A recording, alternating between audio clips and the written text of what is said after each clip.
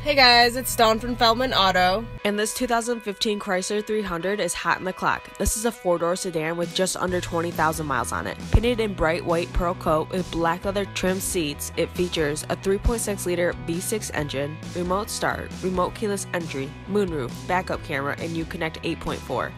Retail value is $29,550, but today it's hot in the clock for just $26,037. But as always, once it's gone, it's gone. So call 1 800 pre owned.